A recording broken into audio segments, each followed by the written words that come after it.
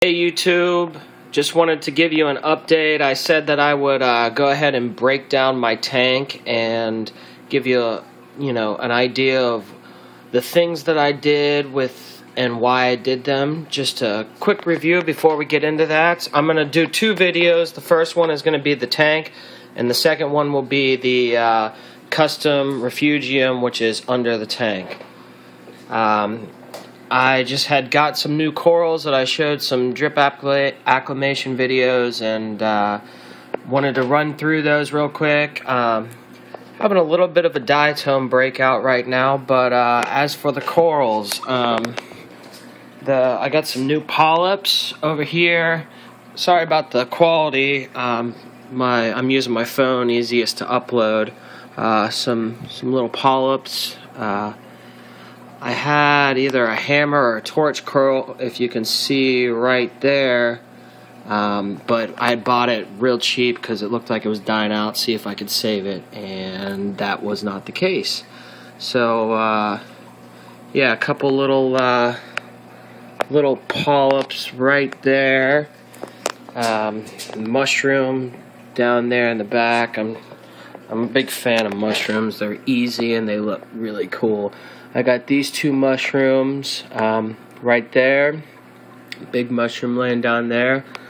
A pretty cool zoa colony with the orange and the green right there. Another big mushroom. Um, and a piece of ice, some kind of SPS. Um, Montipora bird's nest, but it's browned out. I got it at a discount price, just seeing if I could uh, bring it back. And uh, more got it for the cool uh, polyps that were on the bottom of it, as well as a plate up there at the top. Uh, nothing's come out yet. I think it's still kind of getting used to my tank. My the lights aren't as strong on my tank as they were in the uh, in the store. Then my Royal Gramma, my Ocellaris, um, and then a couple mushrooms in the back. Uh, if you notice from before, I had a I had a Condylactis anemone that was hanging out right there for the last three months, and then decided to go right by my power head over here. And luckily, I caught it right as it moved, and uh, hopefully he'll survive. Just turned off the power head for a little while. Um, as for my tank. I just have in the tank. I have my uh, my my power head and the standard pump. I get pretty good flow because um, for instead of my we go around the back. Here's the back. Instead of using a standard overflow box, I plumbed. Let's open this. Um, I plumbed an old power filter because my my whole idea with this was going cheap but still get great water quality and uh, my water quality right now is pretty much everything's at zero. Uh, I'm actually going to start supplementing uh, with uh, marine snow for my corals just because my water is pretty much sterile.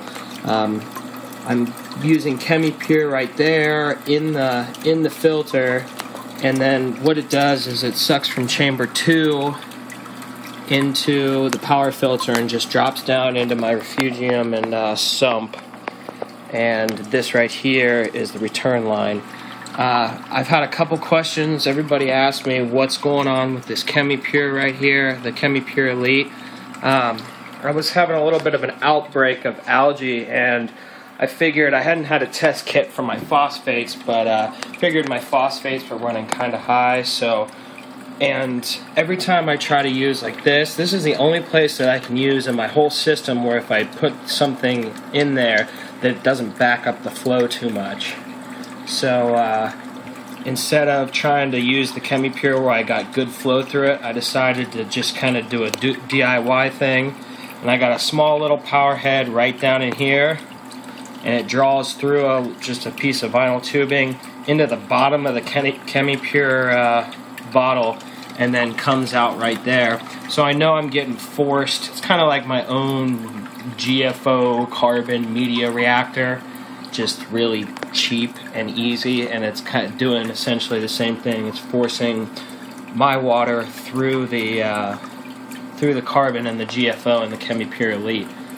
Um, so my oh, my lights are the same. The the standard 29 gallon BioCube 36 watt. Uh, 10k or 12k and the uh, actinic i got a 36 watt of each i'm thinking about getting some stunner strips um, and mounting them in there because they're both waterproof it has a cover over it but i can just drill a hole and mount some stunner strips in there maybe have some of my you know corals requiring more light uh, that i can put in there that you know they might be a little more happy uh, and uh, what else we got going?